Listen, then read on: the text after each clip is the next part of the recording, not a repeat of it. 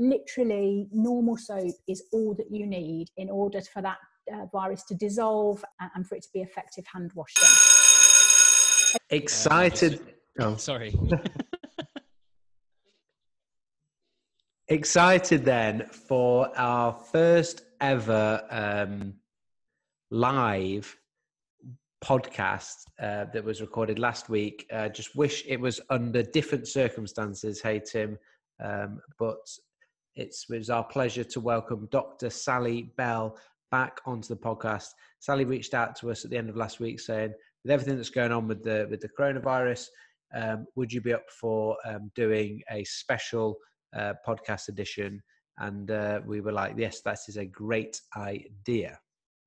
Yeah, it was an awkward one when we first started to come around to the idea because normally Jack and I do the podcast standing about half a meter away from each other, and sometimes we hold hands, which both of those things are outlawed at the moment. So we had to do it remotely. We've got Sally on a video call as well, so um, we've managed to get get get together and have a really good conversation. And it's just the, the essence of this is around controlling the controllables in uncertain times there's a ton of it. We're not going to try and do a recap in here, but I think yes, we are in times where we need a little bit of special advice, but you know, the reality is that there's some really good stuff in here for just general health and well-being, as usual, that we get from the great mind of Sally Bell.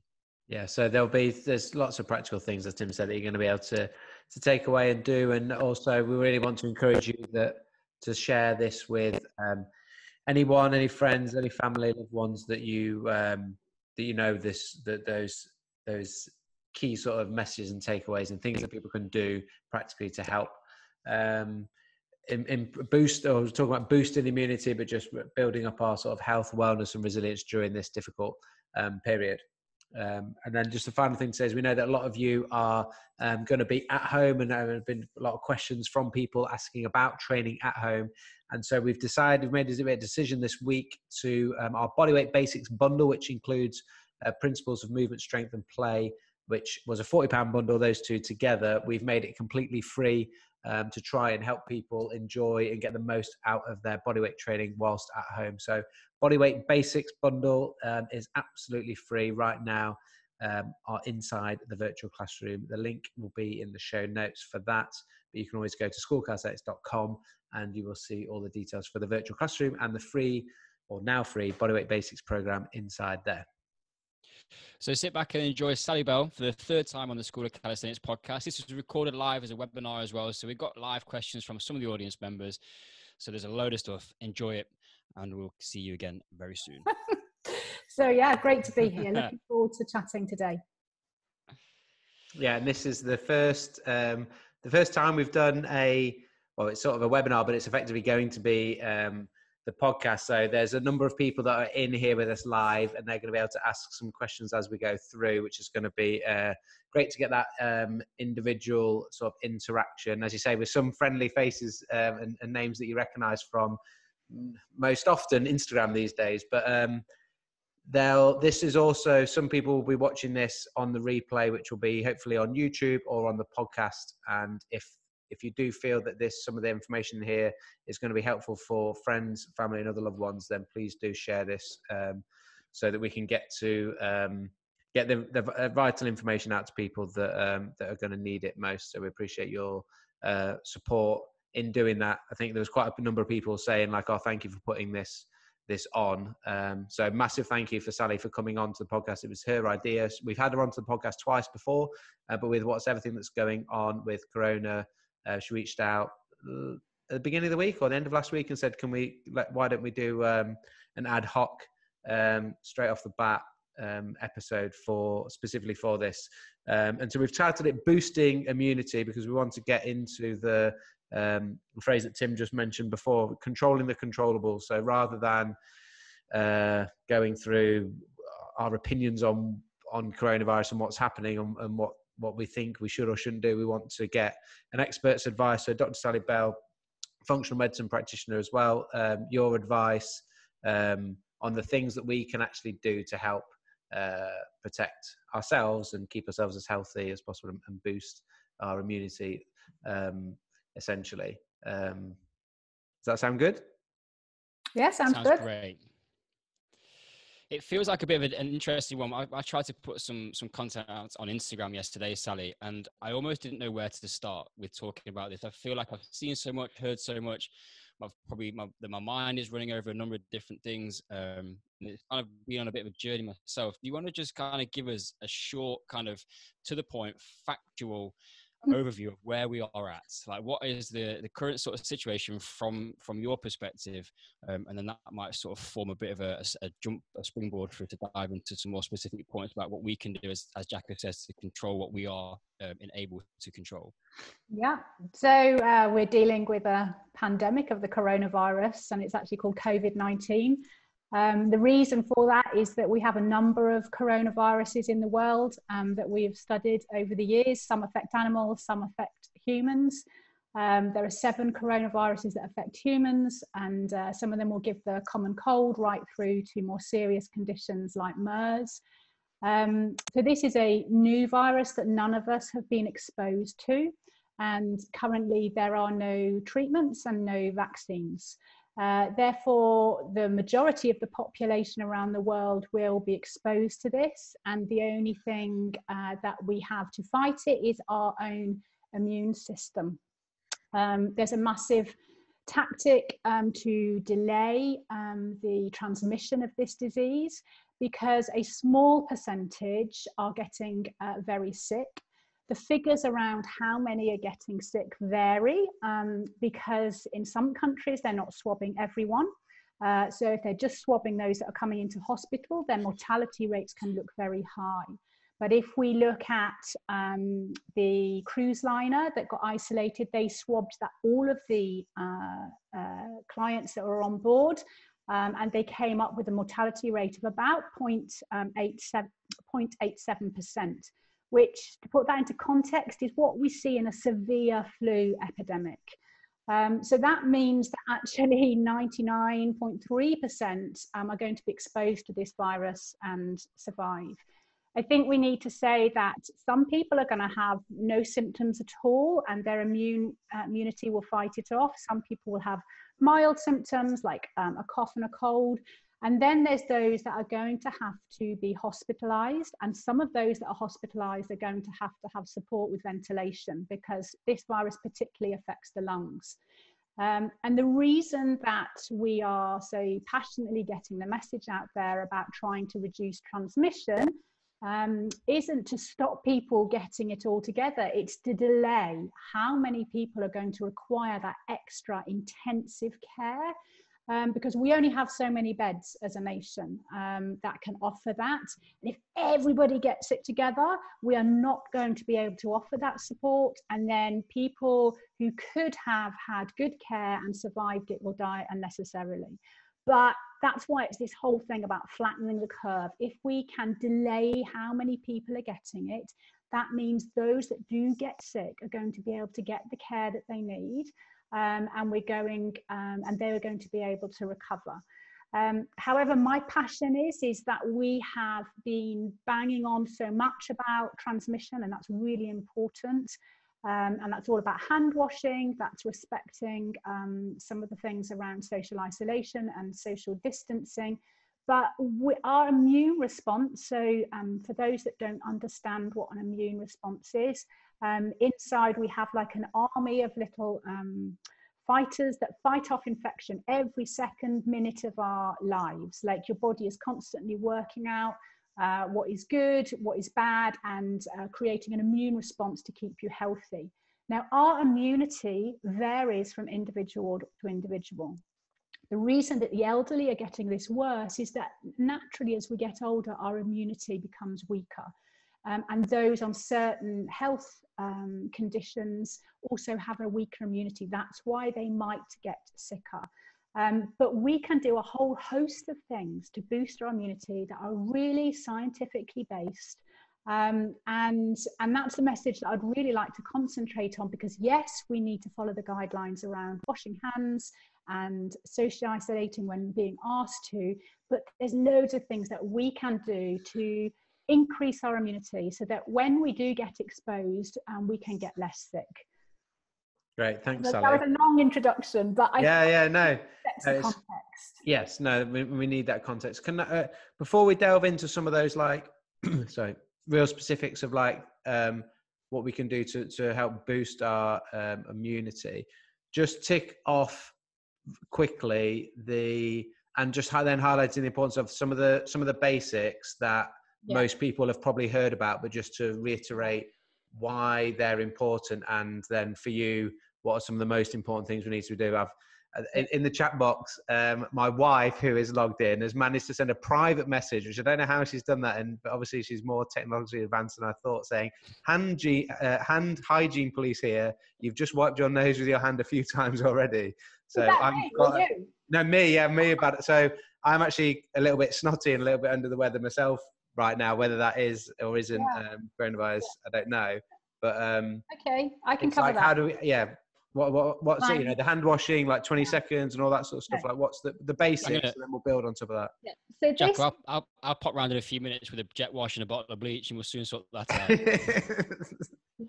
Um, so, in order to understand this virus, um, lives in secretions, so things like spit and snot, um, and um, and we spread it by um, spreading those secretions, those droplets. You could cough on somebody, sneeze on somebody. You could wipe your um, nose or scratch your face, and then you might have it on your hands, and then you'll touch somebody else who then touches their nose and mouth. Um, and that's how it's transmitted. It also lives on surfaces for about 72 hours. So again, if you'd sneezed all over something um, and walked away, and then somebody comes along and they put their hands on those surfaces, they could then infect themselves. So that's how it's transmitted.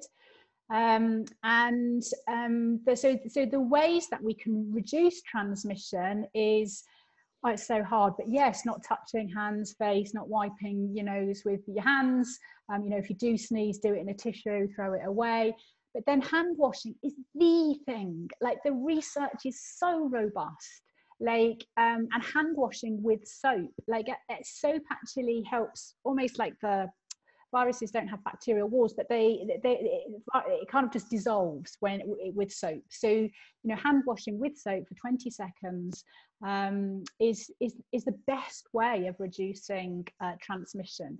Um, Hot water. And, sorry. Hot water when you. So I think the issue is soap. Okay if I'm really honest, um, that's where the evidence is. Now, if you, in the absence of not having that, then it's worth using some of these um, hand sanitizers, but it's not the antibac, which kills bacteria, because this isn't a bacteria that is um, helping destroy that virus. It's usually things like the benzyl peroxide or the alcohol that's in those um, those squirty things that they use for your hands. So um, and then obviously, you know, so that's why hand washing is really important. And then the next thing in terms of isolation is that um, they say like a couple of meters between people, because actually, if you sneeze, you can send snot really far. Um, so it's all about just reducing um, transmission that way. Does that answer that initial question? I mean, these are the things that we know. This is what's going to help reduce transmission. Yeah, yeah, yeah no, it's great. That's, that's great. Yeah. There's one thing the Salad Therese just asked. Um, does it have to be antibacterial soap because there's a shortage of that? Um, no, don't waste your money don't waste it really it just has to be normal soap. Like uh, the whole antibacterial thing you need to understand in infections we have different things. We have bacterial infections we have fungal infections we have viral infections and they all respond to different things. That's why your gp always says oh you've got a virus you don't need antibiotics. Like this isn't a bacteria um, so, you know, having anti-bac um, hand sanitizer or anti-bac soap isn't necessary.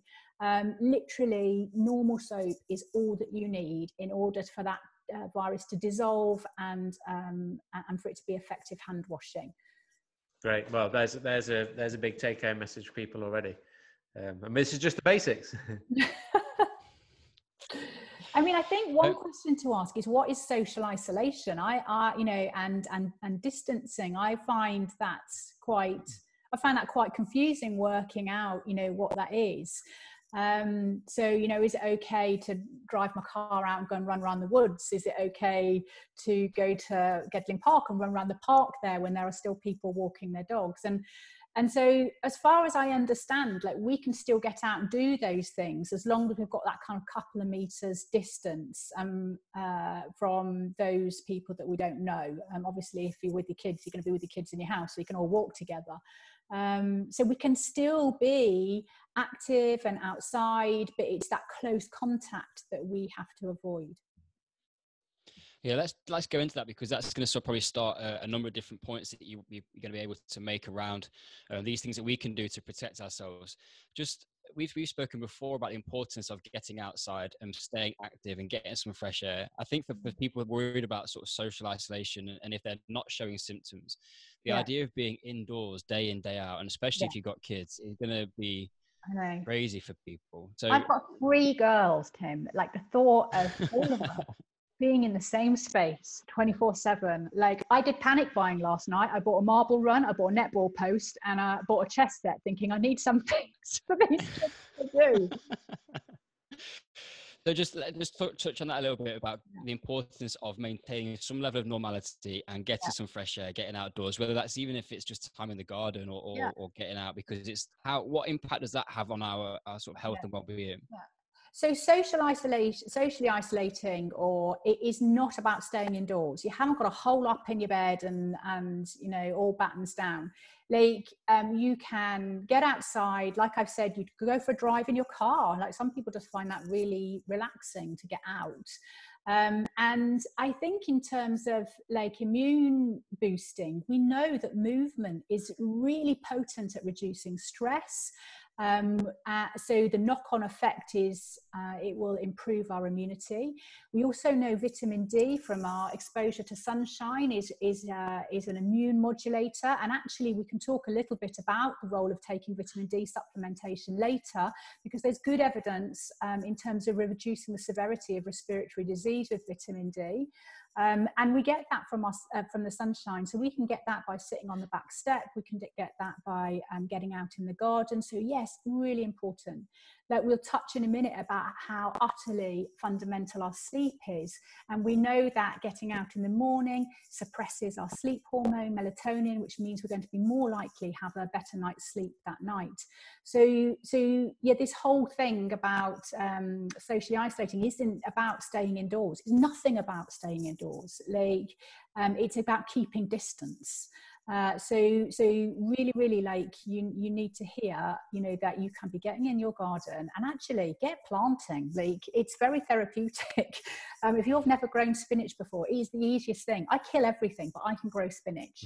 So um, you know and and a lot of the local uh, um, garden centres are now doing delivery things. Get them to order some bulbs and some spinach and what have you. And if even if you don't have a garden you can do this in trays or buckets or your laundry basket like you can get some soil and you can plant some things so just yeah i've gone off on one sorry no, but I think that's a good point because it, it, stems to those mindful activities, doesn't it? And training for some people with one of them. Running for me is a big one. If I can go for a run in the woods, I find it super mindful. But yeah. that's also going to be something where we've kind of, I, I, feel the anxiety at the moment in terms of, yes, we are going to be impacted from a business perspective, social yeah. perspective. There's a number of different things going on. And I feel that kind of stress and tension. So I almost think like I enjoy getting out and doing these things and training and, and trying to make time for that sort of stuff. It's almost like when you kind of the there's the, the, kind of senses that we need to withdraw from those things. I actually feel like I need to press into more, but just do them with with more sort of awareness of um, intention and that sort of thing. I mean, this is a phenomenal opportunity for us as a nation to reset um, and to put some things in our life that um, are really important. You know, being present, family, connecting, moving, opportunity to actually cook. Like most of us are going to have to work from home and and uh, and we're going to have time to do some of these uh, things so you know uh, uh, prioritizing sleep we're not going to be able to go out and go to the pub and and and so there is an opportunity of really creating some incredibly healthy rhythms that can then go on to reverse a whole host of other diseases i mean i've talked before about how the foundations I talk about can actually um, reverse, you know, your diabetes and your beta D and your heart disease and cancer rates and what have you. Like, I just I do think we come out of this a, a lot healthier as a nation.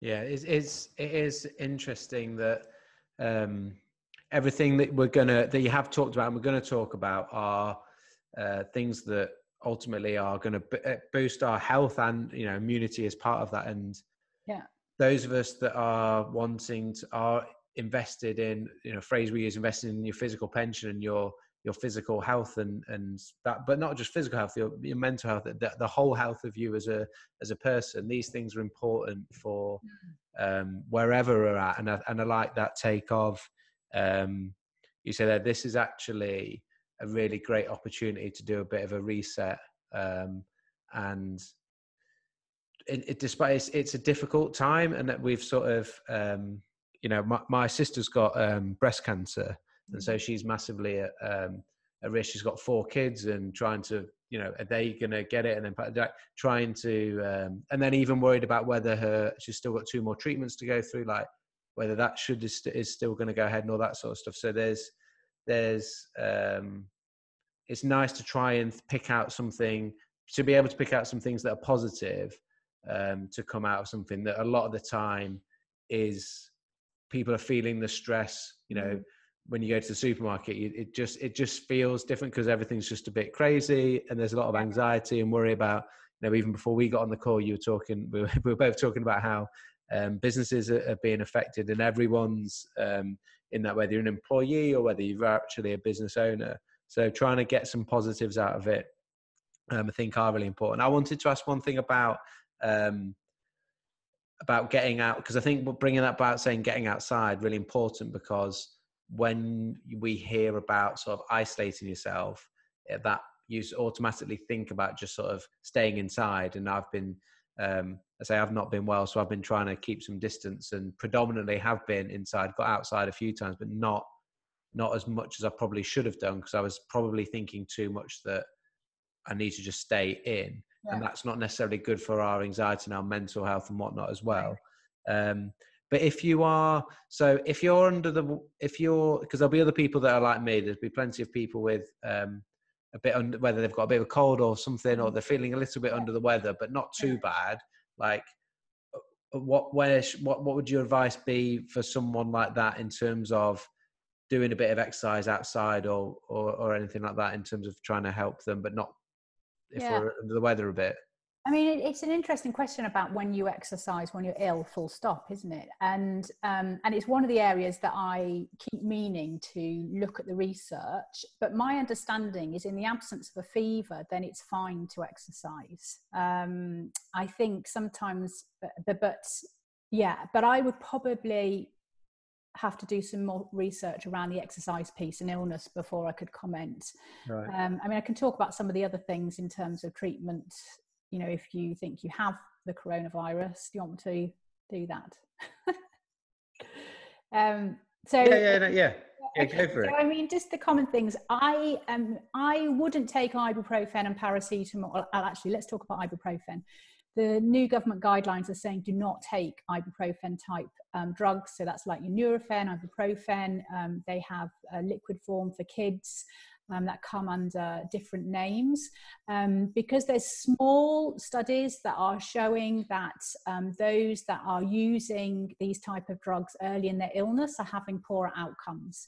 So the new uh, guidelines that have been issued is that we should be avoiding ibuprofen type drugs but I would say um, avoid anything if you can. You know, if you can get through a fever's not a bad thing. A fever's a way of your body getting rid of an infection. Um, so I would use paracetamol if needed, but but not necessarily. It's around rest. It's around getting your sleep. Um, it's around really um, having a good diet when you're feeling poorly. So you know, having soups that are full of um, vegetables. If you can make bone broth, then fantastic. That's great for gut, for gut health um, and um, making sure that you've got lots of sort of different fruits and vegetables for their antioxidant effects.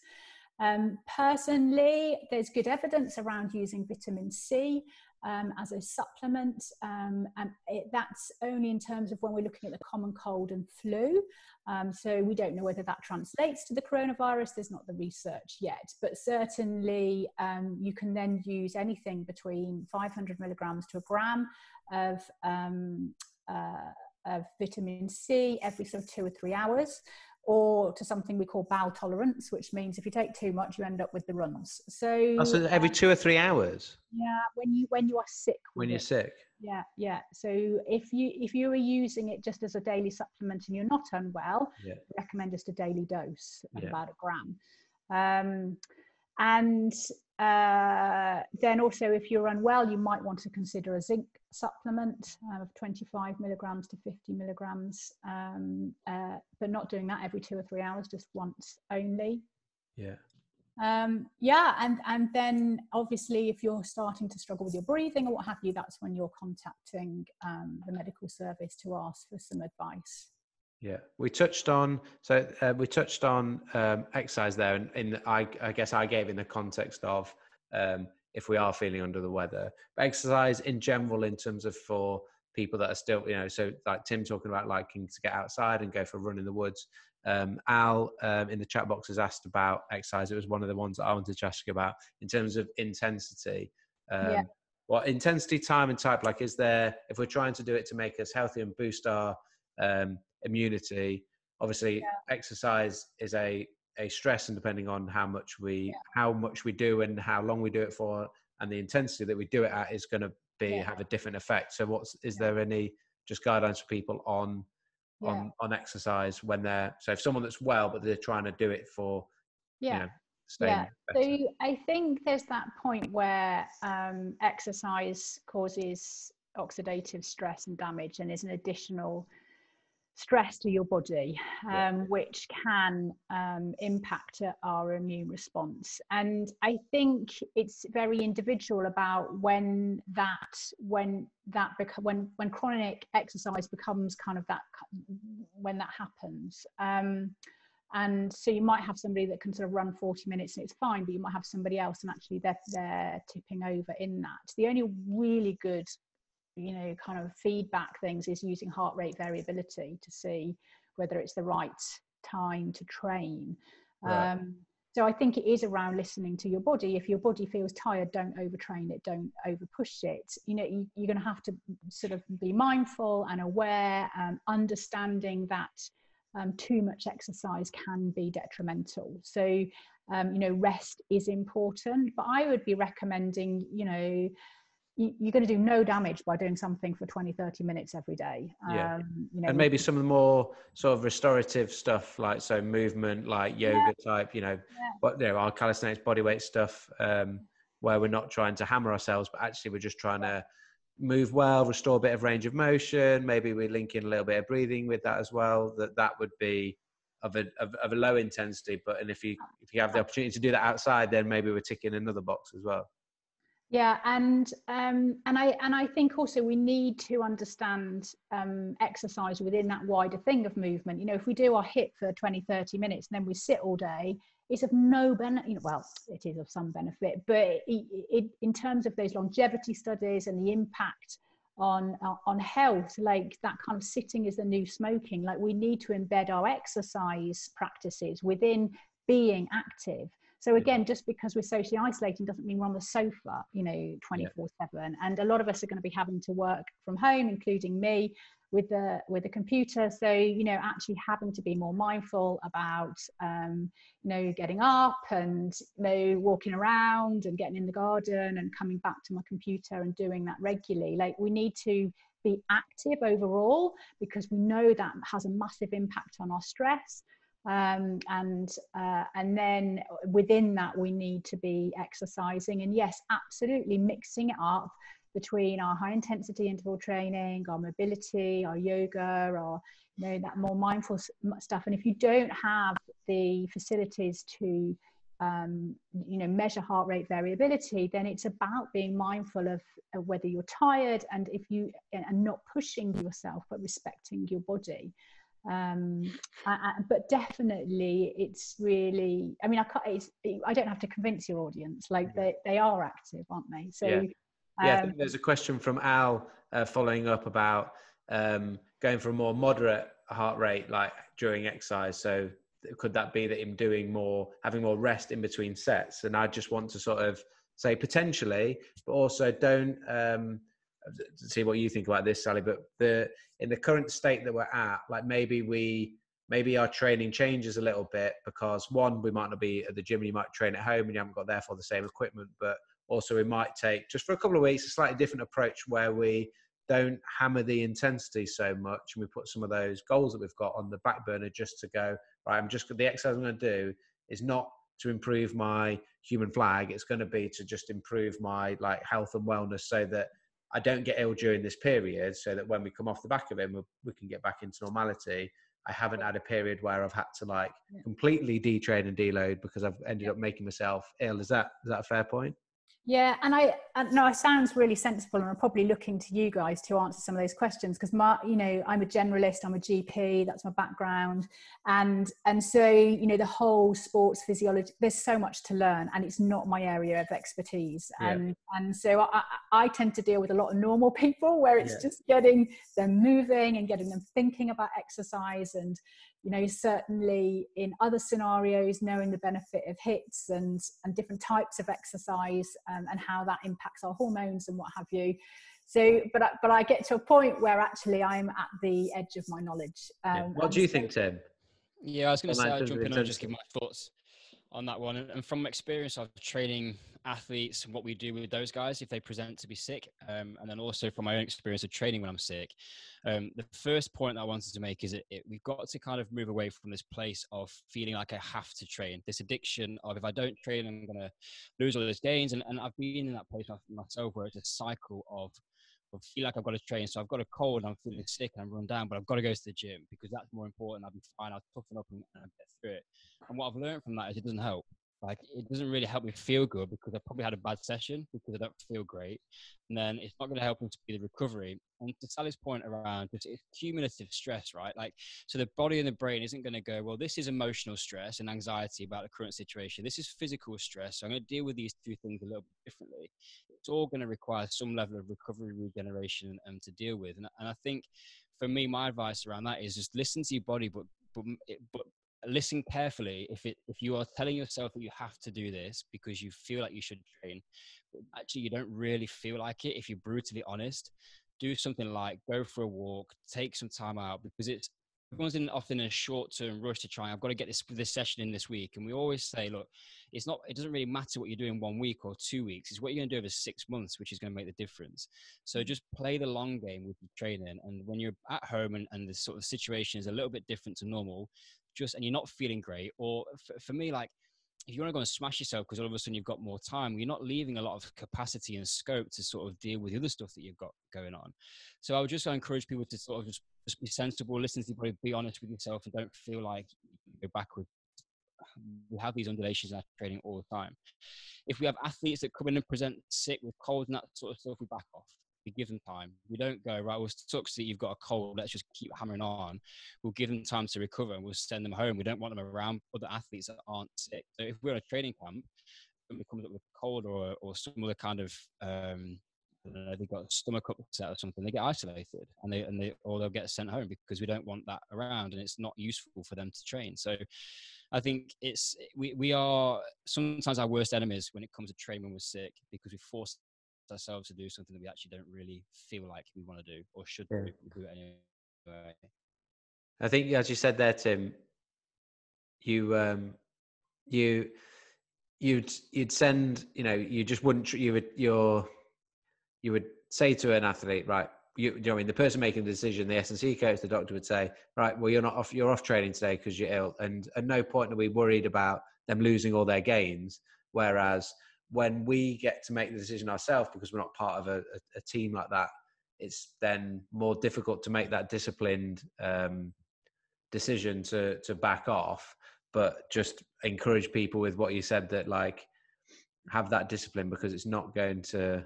You just need don't believe the lie that you're going to lose all your gains just because you have um, a couple of sessions off or a week off during during whilst uh, whilst you're being ill. Yeah, and I think the important thing on that is its energy levels. So if an athlete walks in, they've got a bit of runny nose, and you have a conversation, you go, "How you feeling?" You go, "You know what? Like I got this cold, but I feel good. Like I'm good to go." Then we'll train. But if they come in and they're like, "Oh, you know what? I'm just tired," you can tell by their demeanor that they're not up for it. Then then we back off. So it's it's being very sort of honest and and um, and just be like find a bit of peace in it. It's okay if I don't train today. Not the end of the world. Sally, I don't know if you've got anything there which is helpful yeah helps me yeah no it's good i mean i just um i think i learned so much from training with jacko over the years i mean i used to do those HIIT sessions every morning and and really drive my body into the ground and that wasn't um, with that bit wasn't with me no that wasn't with you. And um, and i was always hurting myself. And actually when i started training with jacko it was just a revelation to trust myself trust my body listen to what it could do. And and actually within months i think my body was the strongest it had ever been. And i really enjoyed exercise and enjoyed my body like and um and so yeah i reiterate what you know what you're saying. Um i think yeah listen to to to your body when you're ill yeah, and there's a couple of questions that have, uh, that have come in, Jack. If we just maybe yeah. pick up on these quickly. Yeah, just um, last bit, just on exercise, yeah, Tim. Um, that if so, if we're in terms of like the research out there, if we're trying to do it to like improve our um, improve our immunity, that moderate exercise, and that sort of being able, if you're if you're running, that you could actually potentially hold a bit of a conversation uh, resistance training wise, that may be sort of comfortably able to do 15 reps um, with good form. That's that's the sort of level where we're going to be at in terms of trying to the adaptation we're looking for is to help us boost our immunity and, and from that respect rather than it being a a strength session where I'm going to get stronger for this goal I'm going to do. And it might be that I know for me personally, I might I'm going to take a little bit of that um, because I'm a little bit under the weather and don't I need to make sure that I'm trying to listen to to my body in that way. And actually, the exercise, I want to use exercise to make me more robust in terms of my immunity during this period rather than anything else. So a little shift in sort of goals or adaptation that we're we're after. Yeah, that sounds good, Jacko. Good summary. Uh, so Sally's going to throw a couple of questions at you. There's one that we missed from um, Mike Perry, just um, going back to vitamins, and we'll come back to training. So um, Mike says, if vitamin C helps us fight a cold or flu, uh, could that mean that our immunity would have more available to fight coronavirus if we are sort of supplementing already? If I've understood that correctly, Mike. I haven't understood that question. Sorry, just. Mike, just just clarify that again for us in terms of that that question around having um, sort of uh, more available vitamin C. Michael is. No, I think he was meaning. So I read that as um, if vitamin C helps to fight cold and flus. Yeah. Would it mean our we'd have more of you like your immune system wouldn't be have it would be a little bit not having to fight off that cold and flu, so your immune system might be able to help fight the coronavirus a bit more effectively. That's how I understood it. Yeah, I mean, it's an interesting question that actually, if we, you know, flu is around at the moment, it's filling the hospitals. We're dealing with our usual winter epidemic of flu, which we, well, epidemic's wrong word, win, winter rise in um, flu. Um, and actually, what if you do have an infection, um, it, it can impact your immunity and make you more prone to other infections. Yeah. So, um, yeah, but in terms of whether the research around using vitamin C in flu and and the common cold can be translated to the coronaviruses. We just don't know, but um, the common sense thing would say, you know, possibly. So the thing is, the coronavirus has only been around this particular coronavirus, the COVID 19, has only been around you know, for a few months and research is emerging. I mean, I was reading all of the research that they're doing on the moment um, and, it just, and it's just coming out and we're just trying to make sense of it. Um, yeah. But so, but if you have got a cold, one thing I took away from it was that, like, if you've got a bit of a cold flu like I have at the moment, then I can actually up the amount yeah. of vitamin C that I that and I it's take. A no, it's a no harm approach. You know, yeah. you, if you don't use it, you pee it out. So you might waste a few pounds in terms of money, but um, I've got yeah. a big tub from bulk powders. Don't you worry. Great. It's cheap yeah. vitamin C in powder format. Yeah. Um, just one more on training then. So Andy Shaw, what's the view on exercise for the over 70s and especially high risk people with underlying conditions for being socially isolated?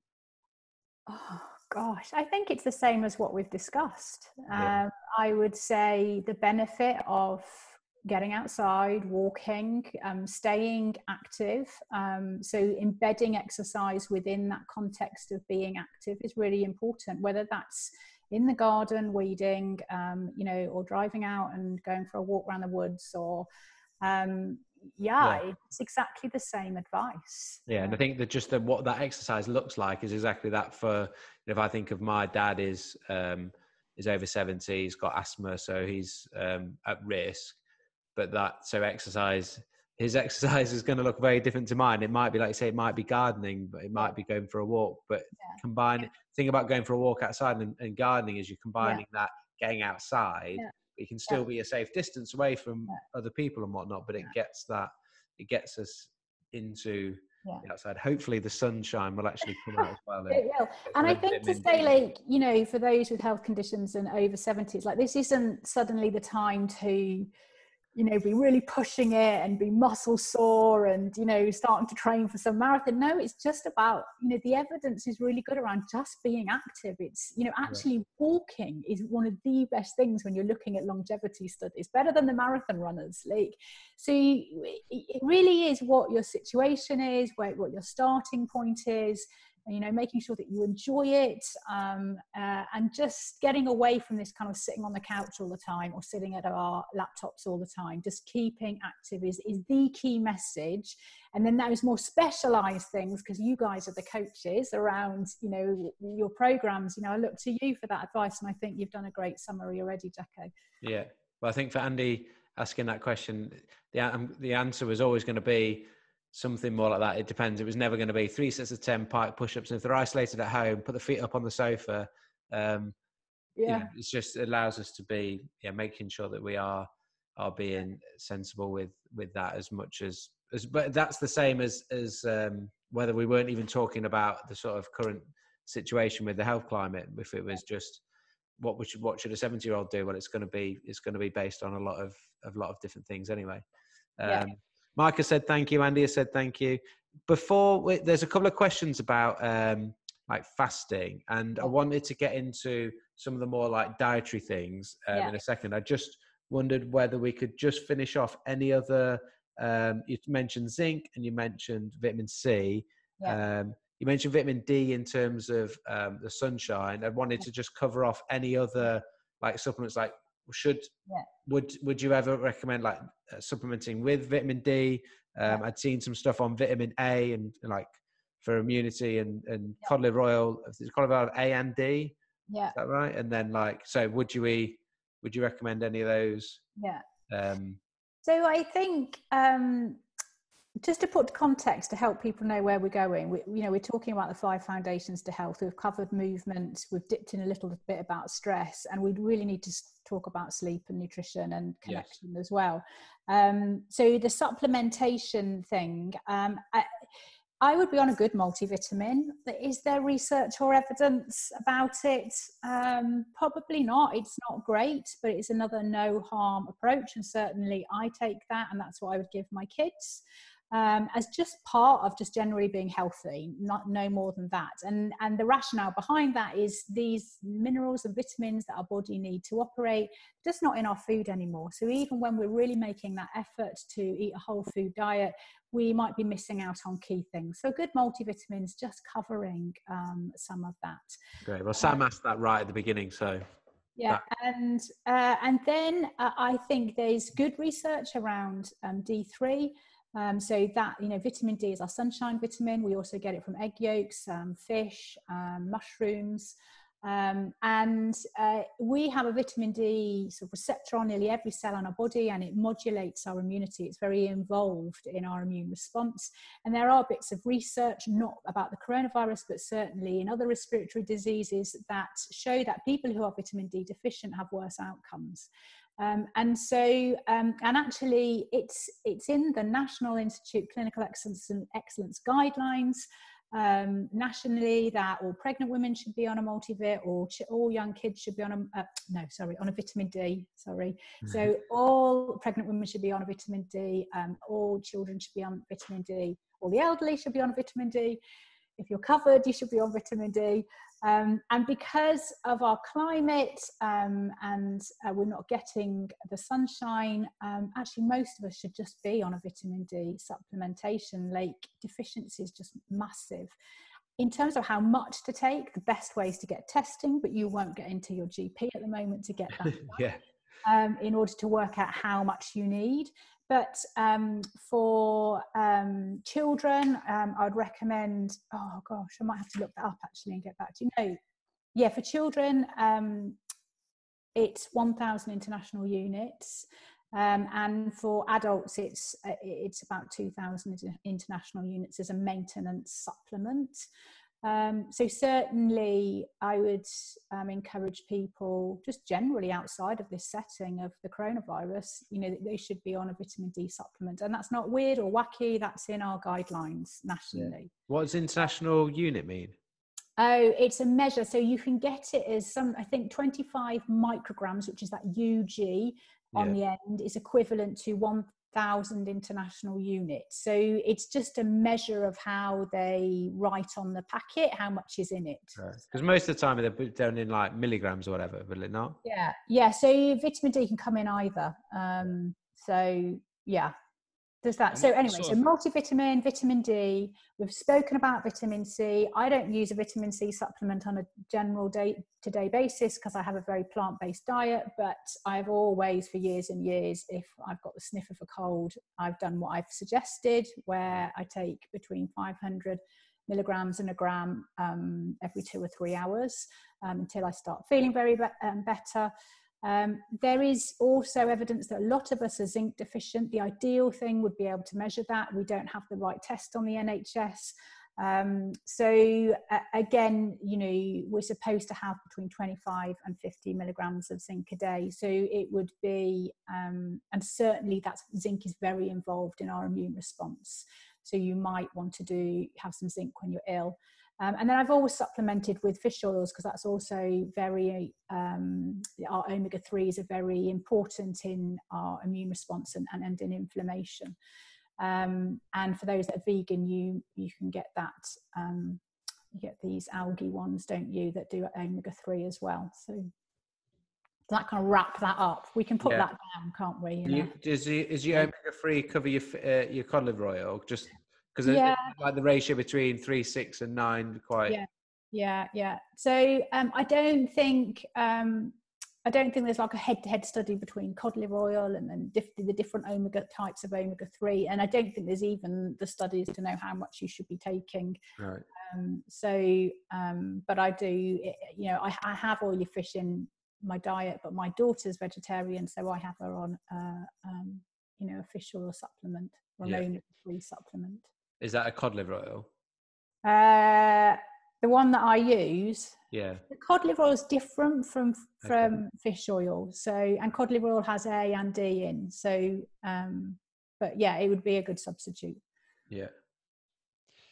Cool. So um, we've got quite a few questions coming around um, fasting, Sally. So obviously we want to sort of make sure that we are um, people can go back to listen to to the previous podcast if you want some more advice on general sort of nutrition. Uh, but as you said, going back to eating whole food diet, yeah. ideally knowing where those things have come from, yeah. um, get a large amount of plant-based foods and, and yeah. eating the rainbow you often talk about as well so if you want to give a few kind of short headlines if there's anything else yeah. around that but um no. recovering stuff no um, i mean the, the, big thing is as a nation 50% of our food is processed and it's killing us like there's no way around it like any any population that adopts a western diet gets sick and and the reason is that we aren't created to eat this kind of stuff. Can we do it occasionally? Fine. Yeah, absolutely.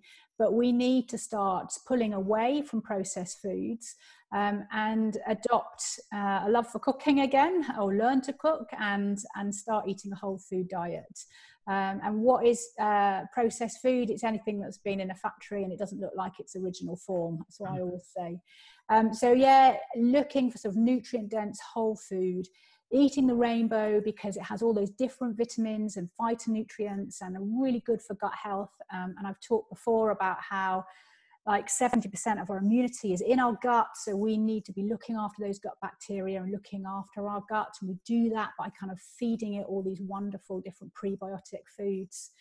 Um, we need good source of protein, um, so you know uh, about a gram per kilo um, a day. So if I'm a you know I'm 70 kilos, so I'll be looking at getting 70 grams of protein a day.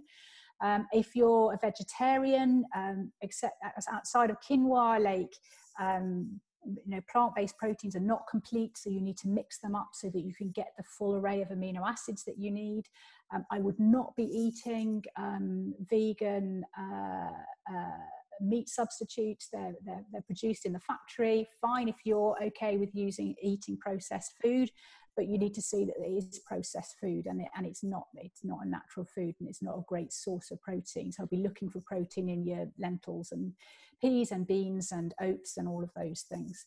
And then fermented foods, great for gut bacteria as well. So your kimchi's and um, you know your fermented vegetables and your kombuchas.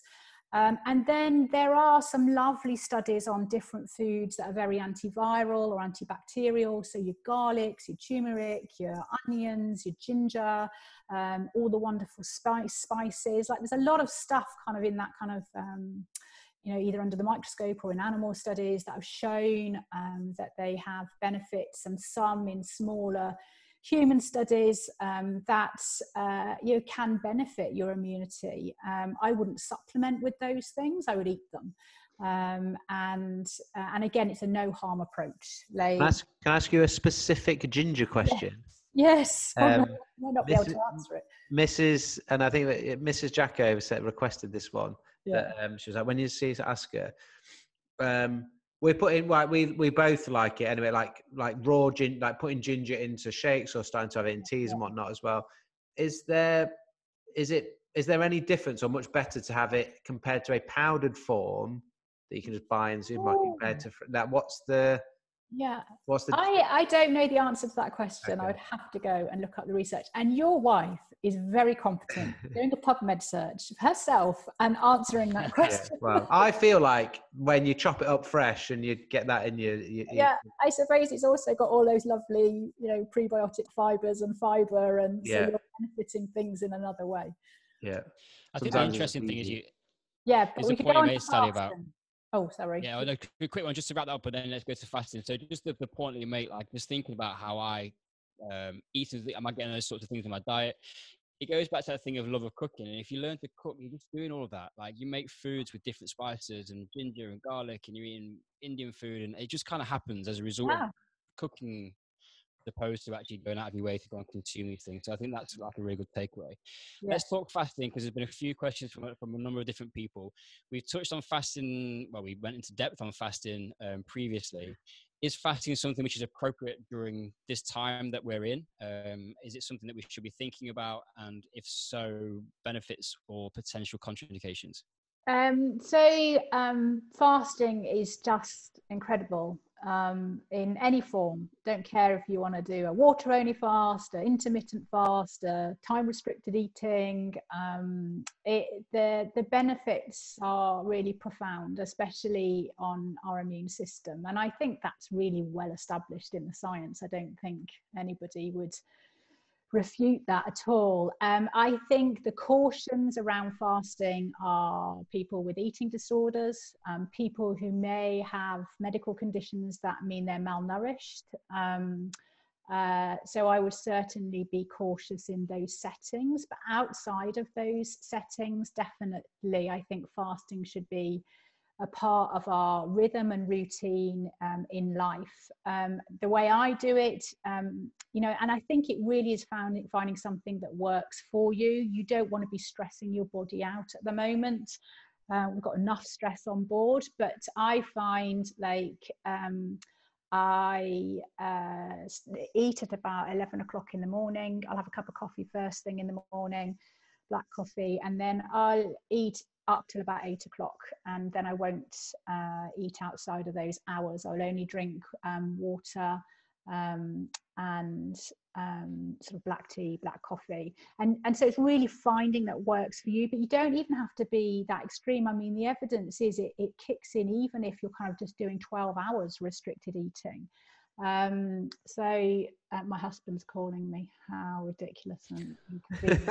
lost you. But anyway, so, so it might be that you just um, you just you know just eat between eight and eight. You're still going to get some benefits um, to your immune system. Um, and you might want to then play maybe on a Monday and Tuesday. I'll just extend that, and I'll go, you know, I'll go from eleven till eight on those days. Or some people, you know, find a rhythm where actually they just do a 24-hour thing where they only drink water um, and and that is is of great benefit. There are no studies head to head that compare all of these things, but I think the science is there that all of these things can have great benefit to our immune system. Yeah, because one of the question from um, Ali saying about um, Dr. Rhonda Patrick saying that over 30, like over 30, extending over 36 hours, creating autophagy, which can help replacing um, white blood cells, but it was something done, might have only been done in rats or something, but just the idea of if we're trying to do something to help our immune system, yeah. is some level of fasting, if we're all, if we're sort of currently fit and well to help with that, is, yeah. is that therefore something that you're saying would be good for people and find something that works for you? Absolutely. Absolutely. Uh, so, finding some form of fasting that works for you is going to be great benefit. And you don't have to restrict that long, I think, for that whole, you know. Yes, that's what. I, yeah, that's what I was thinking.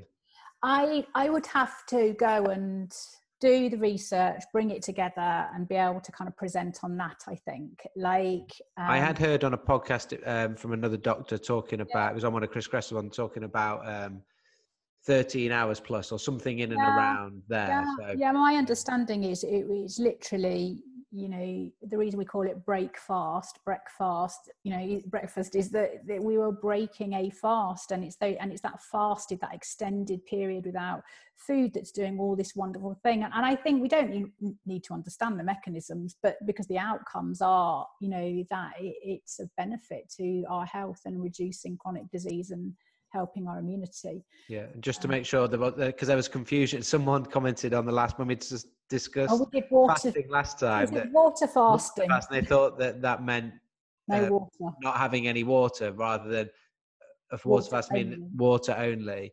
Um, and were you saying find what works for you? There's all you know. There's different type. I guess fasting in a way just means like restricting something you know you talked before about just having like it could be that you just have a, a much lower calorie day compared to just only on on water or it might be that we we miss one certain meal just some level of giving or my understanding of be of it a case of like giving the gut a bit of a break or a little bit of an easier ride in terms of it, it having to digest all the food we're, tr- we're trying to have. So just i almost see it as like a slight a change from what you normally do. And that might be only consuming water or it might be yeah you, you, you're just going to simpler foods or you know there's different ways that we can do this there's different lengths of time people have to do it and i think it's important jacko it's not a change from what we normally do because you might have habits where yeah. you know every day you might like do something you're going to get the benefit from that just so you know it's not because you're you're tricking you're not doing something in your body yeah, sorry, yeah. then, then you know switches on your immunity it's it's more having those things where your body has your body's got a whole host of other things to do than just digest and yeah so, um yeah does that is that clear yeah I think let's. Um, I'm just conscious of time for people. There's one thing that I, think is is really important, Sally, that um, I think you mentioned before around uh, one of the other sort of pillars of connection. And in a time where we're being told to um, stay away from each other, or that's as much as it kind of can feel like um, we're being sort of told to isolate just touch on the importance of connection yeah. and interaction with community and, and, how do we go about it in times like this because yeah. i think probably one of the worst things we can do is shut ourselves away yeah. um, and not, yeah. not engage with other people yeah, so I mean, again, going back to those five foundations, like we've looked at movement, we've touched a little bit on stress, we've looked at the nutrition piece, um, and the connection piece. Yeah, like social isolation is such a potent driver of all chronic disease. It's it's highly stressful to a body and highly inflammatory. And and I think I don't like that they use the word social isolation because social isolation doesn't need to mean to need disconnection and and it's very very important that we stay um, connected um, because yes that can compound um, you know a whole host of problems as well as have a massive impact on our mental health. Like one in four of us of adults have you know sought help from the gp in the last year about mental health issues. It's just so prevalent. And and so i think we need to be really creative. And i think the wonderful thing is in our our climate with the use of technology is that we can be connected. Um, and so, so I really think it's so important that we start thinking how we do that and how we stay um, connected with each other because it's it is paramount in terms of um, us maintaining our mental health as well as uh, maintain our physical health. And it will impact our immune response because it's because social isolation is a hugely stressful thing and we know stress suppresses our immunity. So um, connections very important. And i you know i think there's also lovely you know evidence around a sense of connection with purpose. And maybe this is a really important time where we um, as a nation as an individuals and families consider well what is our purpose? You know why are we here and what do we want to do with our lives? Like it's certainly for me it's really sobering isn't it? Like um, my business is all over the place at the moment and having to kind of think gosh what is important? And you know am i doing what i, I want to be doing? And am i going to be going where i want to go? And so it's a beautiful time in terms of reflecting and thinking and you know reconnecting with that sense of purpose in your life and as families. Um so yeah and, and then i talk about connection with self like actually when we're disconnected from ourself you know also that really feeds into mental health issues um, which in turn can cause problems, you know, uh, with inflammation and anxiety and what have you. And and and uh, and the reason that we're so disconnected with ourselves is that we are just bombarded all the time with so much distraction: our phones, TVs, work, blah blah blah. blah. It just goes on and on. And again, what a beautiful opportunity for us to actually get more mindful and get more present and have less things in our life that that we can actually start reconnecting with ourselves reconnecting with others reconnecting with our purpose. And and that will re- be really potent in terms of healing and and the impact on health. Yeah i think that comes nice to about around to what you said the relatively early doors of going like this is a potential for us to do a bit of a bit of a reset um, and yeah, no, I really like that. And you know, Owen Beardshot had, had, got asked a question about basically about this, about the sort of um, mental health side of things of being isolated and that uh, affecting yeah. anxiety as a result. And he's mentioned sort of social media, and you, you talked about it there. We talked about technology being actually being able to a good thing to be able to keep us connected, but yeah. at the same time, it actually stops us being mindful. I think it's now is a really good time to look at how we use the technology that we've got and go, yeah. how am I going to use this positively to help me with that connection rather than it being like disconnecting me from myself and, and surroundings. And yeah. I know everybody will struggle with that to, to some yeah. degree, depending on what's, um, what's going on in your life and what your current sort of like work life balance is like and all that sort of stuff. But, you know, we found through, um, through through the through training calisthenics that that connection with others is is massive why the community side of things has been such a, a positive thing that's come out of what we've essentially yeah. what sort of organically came out of the school calisthenics and tim would uh, agree with the same um, and i think that's it's yeah. one of the things now is going like when we are going to be potentially separated more than we would usually be like not like this is a great example normally me and tim would do the podcast sat next to each other together whereas we're on the we're on the call today. Um, and and i think that's where using how you choose to use that technology you know be you know if you are if you're part of the virtual classroom or and you use the community aspect in there or whether you use your your video phone to to have a call with your your family that yeah. you wouldn't normally actually do in person it might not be as good as me in person but it's going to be a lot better than that that isolation. And i think that's yeah, yeah. reiterates that point, doesn't it? Of like mm. that whole thing of like isolating doesn't mean you have to. Like I had a message from a friend today that said, "My dad isolating himself is probably going to kill him more than the coronavirus would do if he got it." Um, and trying to make sure that that isolation isn't stopping us from going outside. It isn't stopping us from actually staying connected with people in the world. Yeah, I mean, uh, we spent 30 minutes last night trying to get my mother to mm-hmm. connect to Zoom so we as a family could all talk. We had a view of her nostril for a long time on mute. but, you know, eventually we did get there and it was a lovely time together to all feel that sense of connection.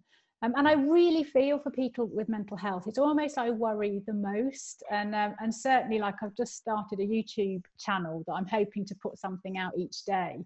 but I'm, uh, the plan is in the in the coming weeks is to do some stuff around mental health and because I've certainly suffered with my own mental health historically and it can just be such a vulnerable time like I think we we hear this whisper that we're alone and and that can be the worst lie to buy into and and so yeah I my my heart really goes out and I yeah so yeah well, um, we'll put this. Send me the the link to your YouTube channel, and we'll put. We'll make sure we'll put the link in the show notes because I'm sure people yeah, listening Dr. Sally. Bell can look me up if you forget. On, yeah, look up Sally Bell on YouTube. But we'll put the link subscribe. in the show. I've only got two subscribers. One's my mum and one's my husband. Okay, so well, you'll get one more. We'll we'll give you one, and then we'll see if we can get any others in. Let's get Sally to ten.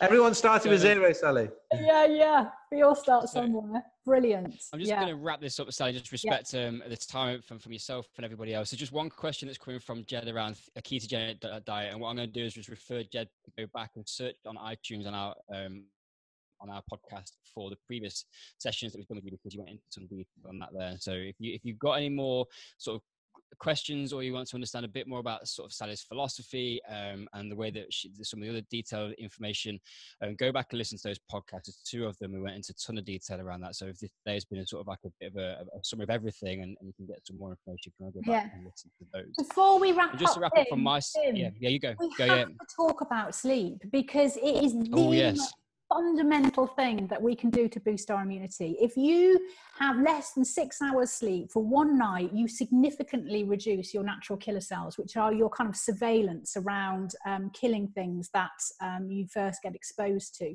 And, and the research, you know, beyond just natural killer cells, but the other aspects of our immunity and even our immunity against viruses is just so robust like sleep deprivation is just a massive immune suppressant and it's something that we can so easily you know address especially now that we're not going to be going out every night.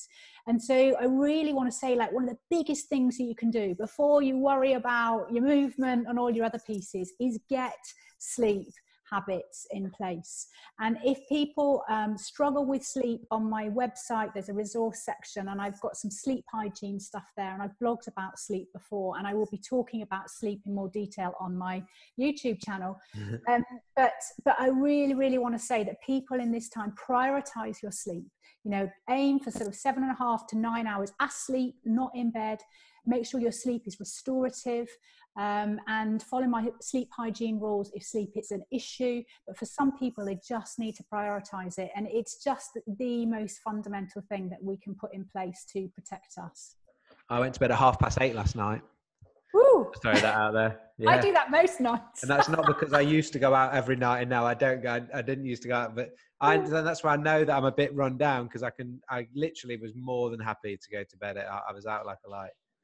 Um, these things are challenging, right? I think this is one thing I, I listened to on the radio the day um, on Five Live. They were talking about waking up to a, like a new normal, and for us, we're sort of like now. Jack can't go to my mum and dad's where he would normally spend some portion of the week because my mum and dad are both sort of around seventy, and and we want to try and protect them. So now Jack's going to be at home a little bit more. So I've gone. Well, I've still got quite a lot of work to do. The business is kind of going through this kind of adapt to what it looked like. So I'm going to get up earlier, and then I'm kind of still going to bed at the same time. And I did that for two days, and now I'm tired. Um, and I just it's it's kind of like finding this new normal, pressing into some of the stuff. And I think there's some amazing advice in there, and going back to the basics of sleep well, eat well. There's some great supplementary stuff that we can do around boosting um, immune system. Can we seek physical uh, connection with other people? How, what does that look like? We don't self uh, social isolation doesn't mean being stuck indoors. It means being yeah. sensitive about where we go and, and how yeah. we go about conducting those things. Yeah. I think hopefully the takeaway from this is like press into basics work out what normal is going to look like for the for the kind of foreseeable future but also we should probably just kind of like take some weight off our shoulders. I, I, kind of feel heavy with all this stuff at the moment and i think it's taking some time out not to just kind of get caught in the in the kind of humdrum and flow of where we're being kind of the world is closing in and just take some time to step back breathe and go you know what? These are things i can control these are the basics and these are the way that i'm going to be going about these things based on the current environment and i kind of feel like we just need to take things a day at a time at the moment and just yeah. because it's changing quickly advice can change quickly but these things that we've talked about today are consistent and we can continue to do those for as long as actually probably as you said a reset probably should be more like forever habits anyway yeah that sounds good yeah and hopefully And manage your stress. We didn't talk about that either. Another time. She's angling for a session four, Jacko. She's done three now. She's, she she keeps this stuff back right to the end. She goes, I've got this as well. She wants a fourth episode. I think some of those SOC doctor. We just need to give you a job title. Yeah, no, You are now the official SOC Um, doctor. we can definitely we can definitely do that but then but like some of those some of those things that we've discussed and putting those into putting just some of those things into practice is going to help people with managing some you know help people managing their stress some of those things are Absolutely. de-stressors um or quickly on um, andy shaw just asked about napping and tim mentioned then about low sleep. There's a podcast we did with nick littlehales. Um he's a sleep expert so do check that one out. But essentially like get it if you if you can get more sleep in as you said um that's going to be beneficial. And so whether it's I've actually through having a nap that's also cool. I've actually done a lot of experimenting and research on naps personally. and in my, in my case, if n equals one, nap away. More the better. right, Sally? Naps are good. I don't. I don't get the opportunity to nap. but if you but if you could you would you You know want to try it sometime? I It's think amazing, especially on a Sunday afternoon. On the napping thing, I think if napping doesn't interfere with your sleep at night, it's fine. yeah Um, so yeah. Um, I just wanted to so uh, just for for my final sort of thoughts on this, Sally. Like massively, thank you for coming um, on and actually reaching out to us to to go. Let's let's do this. 'cause It was a great um, idea, and I think like to reiterate what Tim said, um, feeling a bit heavy. Like I, yeah, I have been feeling um, stressed and anxious about it. Like we were away at the weekend, and and yeah, the climate just like changed. And then going into a supermarket and seeing, I mean, someone mentioned on the on the chat about um, toilet rolls and that sort of stuff. And and sometimes there's been, as ever, during these times when something like this happens or something difficult goes on, we end up seeing like both sides of of humanity.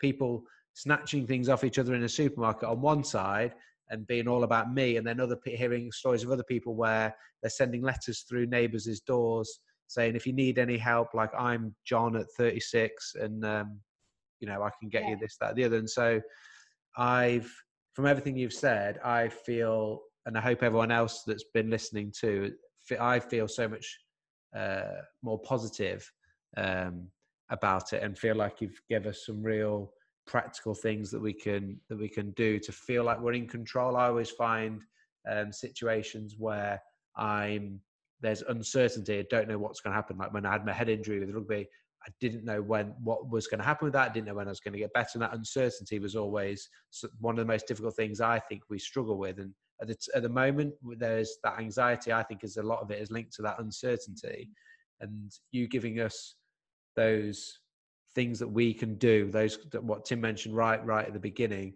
Control the controllables. The things that we can control. Let's make sure that we're doing those to the best. Um, of our ability and then and within doing that helping others to do to do the same. Because i'm conscious that at times we sort of laugh and joke about little things that we're talking about and there's everyone's in different situations and for some people um for some people they're not as worried about this because they're fitting well and they're not in that they're not in that situation or not in one of those categories of being uh, more vulnerable. And for other people it's it's potentially life and death. And so um, I just hope that people have have got some stuff that they can either help for themselves or pass on to help with others, um, and that Yeah. you feel a little bit less stressed and anxious um, as as I do. So, I guess a thank you from from me um, Yeah. and Tim as well as everyone listening as well. Yeah, no, that's great. And um, you can find me on drsallybell.com and um, Dr. Sally Bell at Instagram and Facebook and what have you. So I'm just hoping to put some of this sensible stuff out and drip feed the nation some great things that they can do for their health. So join the movement. Great. I've just wanted someone. Someone just sent me a private message in the chat box. Mike Perry, you can see my clock in the background. It says your clock's wrong. That clock is strategically 20 minutes fast, or about 90 minutes fast, which is in the hope of trying to get Mrs. Jacko to something on time at some point in her I life. was going to say, let's not go into why that, that clock is, um, is that fast because you and I both know if she's listening. Great. All right, guys, you guys have been awesome. Thanks so much for joining us. Um, and again, follow up if you want to share this. Um, we're, it's going to go out um, next week, Jacko. Is that right? As a podcast? Yeah, this is going to be out. If you're listening, either yeah, it's going to be out on Wednesday next week, so it's going to be next week's podcast. Some of you are listening; it is next week now that you listen to it, etc. But um, yeah, if when it is out, if you want to re-listen to it, obviously do that. But please, um, if you feel like the information in there, and I certainly do, is is beneficial that Sally has said, share that with um, as many people as you like to. Um, and then also just to remind you, one thing that we've done to try to know a lot, we know a lot of people are um, at home and being able to do some exercise at home, we have made our bodyweight basics bundle, which includes principles of strength, movement, and play, uh, movement, strength, and play, uh, which was a forty pound bundle. We've made it absolutely free, um, so to try and help people in terms of getting into some training with their bodyweight at home. Um, so that is a yeah, that's that's something we've done to try and uh, help you enjoy your training at home. I'm going to do that, Jacko. Fab. Yeah, on the bodyweight basis, it's free now. Oh, Get on yeah. it. Oh, I've been sat here for an hour and 50 minutes wondering why you've not got a set of rings hanging from that beam behind you. Oh, no. Is that... got my Wattbike? You got Wattbike? You bin that off. You well, buy yeah, about. You need some rings. You could buy about a, th- a, thousand sets of rings for that one Wattbike. I could take you out the back, and I've got a set of rings on a pull-up bar. Good. Yeah. Oh, outside, you see. Yeah, well yeah, done. Yeah. That is better. And it's outside and unused for some months. So when it gets a bit Look at that rings, Wattbike, and a log burner. That's like heaven for me. We're coming around. You're going to come around your house to do bodyweight basics. Don't worry about that. Good. All right, let's sign off. So this is time number three. So we're going to do the official ending. Um, so you know what you've got to do. Yeah. Um, and we're going to thank everyone for joining us live on the the first. It's actually probably the first live podcast we've done. And hopefully, it's going to be the first. Until next time. Class dismissed. Nailed it. Right. All right, guys, we're going to sign off. Thank you so much for joining us, and um, keep well, stay, stay, stay, stay sane, and um, yeah, we'll uh, we'll hopefully be in touch with you again soon.